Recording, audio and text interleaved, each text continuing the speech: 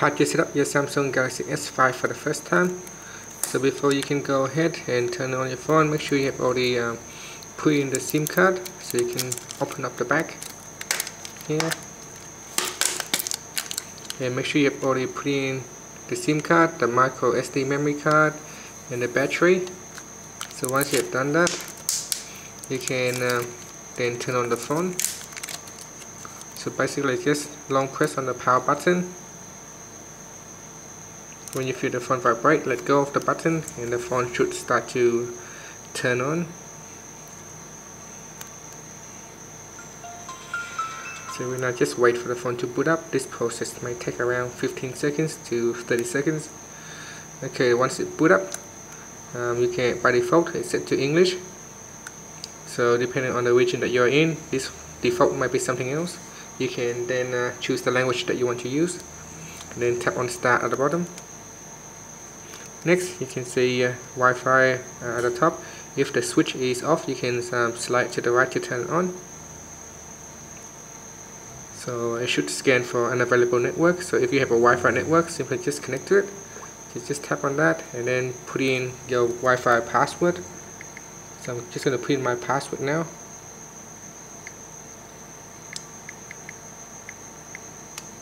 You can also uh, tap on the show password if you want to see what you put in and tap on connect and this will now try to connect to the Wi-Fi network.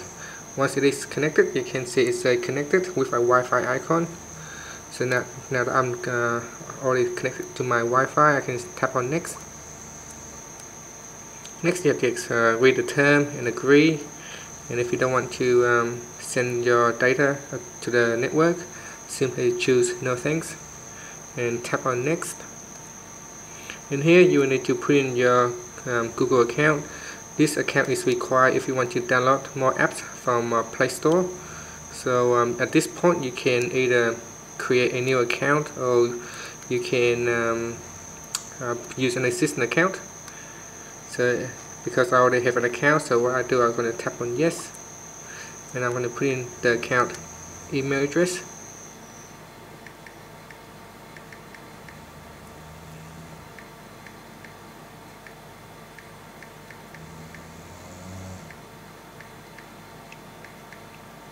and the password. So just tap on yes. So in the password field just put in your email password. Once you put in the password just tap on next. Tap on ok. And this will allow you to sign in.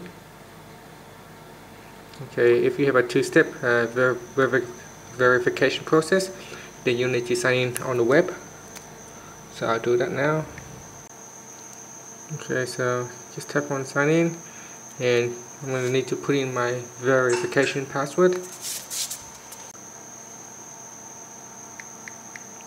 Okay so once you put in the passcode just tap on verified.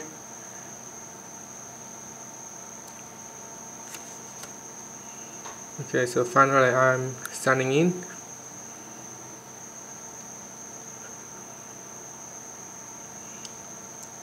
then tap on next. And if you don't want to um, set up the credit card right now you can just simply choose not now.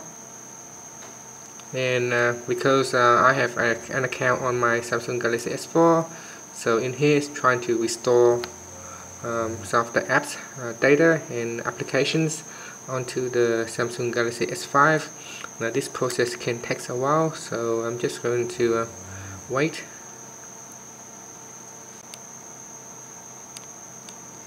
okay after that you can put in your name and tap on next.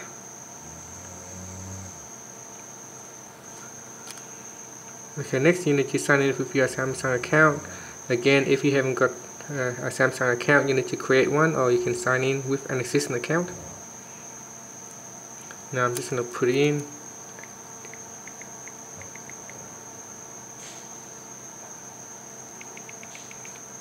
so put in the account?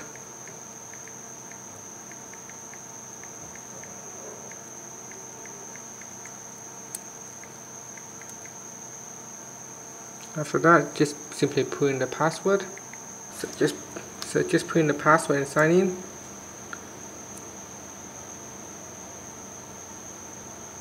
So after sign in just tap on next and tap on continue now you can also sign into Dropbox if you want to store your data in the cloud. If you don't want to simply just tap on skip.